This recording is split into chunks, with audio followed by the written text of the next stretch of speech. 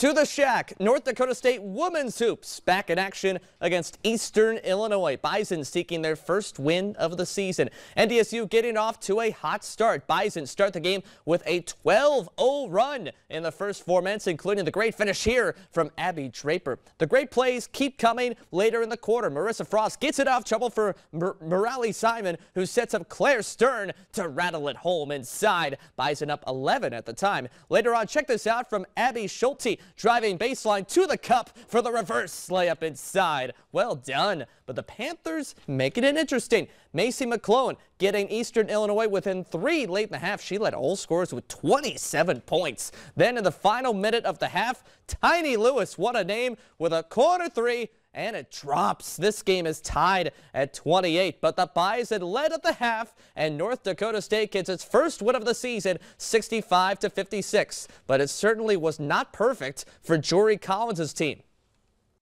Did not think we played anywhere near uh, what we're capable of playing or, or, what we hope to be. We wanted to get off to a good start. Um, thought we were guarding well. We finished plays there, right there in the first, you know, three minutes or so. Um, that's what we're capable of, but you know you have to be able to sustain it too, and then to, to turn around and just score eight points in the second quarter uh, was disappointing. Plenty to improve on early in the season, but a win is a win for the Bison. North Dakota State hits the hardwood once again Friday night when the Bison host the Jamestown Jimmies at 7 o'clock. But again, that win, a big one for the Bison. Always tough to get the first one, and it was a good win today. Yeah, no, uh, hard to get that first one. You know, me, I'm a big college basketball guy. Excited the season's here. It's it's the best time of year. I am glad you were enjoying the hoops tonight. yeah, I was really enjoying it. You know me, I have the oh, games oh, yes. on all the time. Everywhere, awesome. everywhere, all weekend. Exactly. awesome. Thanks, Eric. Well.